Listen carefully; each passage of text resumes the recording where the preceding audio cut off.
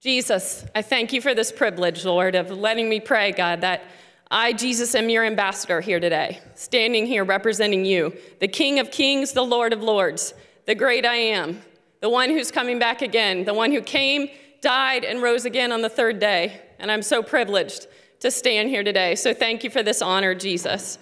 God, for those that came before us, like George Washington and Valley Forge, and Abraham Lincoln, who sought after you in Gettysburg, Jesus, and the founding fathers in Independence Hall, Jesus, that sought after you and fasted and prayed for this nation to be founded on your principles and your words and your truths. God, forgive us. Jesus, we've lost sight of you. We've forgotten you, God, in our country. And we're asking you to forgive us, Jesus, that your promise and your word says that if my people who are called by my name will humble themselves and pray and seek your face and turn from their wicked ways, that you'll heal our land. Jesus, you are our only hope.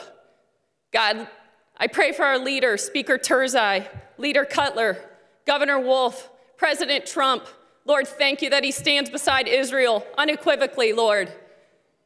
Thank you that Jesus, that we're blessed because we stand by Israel and we ask for the peace of Jerusalem as your word says, God. We ask that we not be overcome by evil and that we overcome evil with good in this land once again. I claim all these things in the powerful, mighty name of Jesus, the one who, at, at, the name of Jesus, every knee will bow and every tongue will confess, Jesus, that you are Lord. In Jesus' name, amen.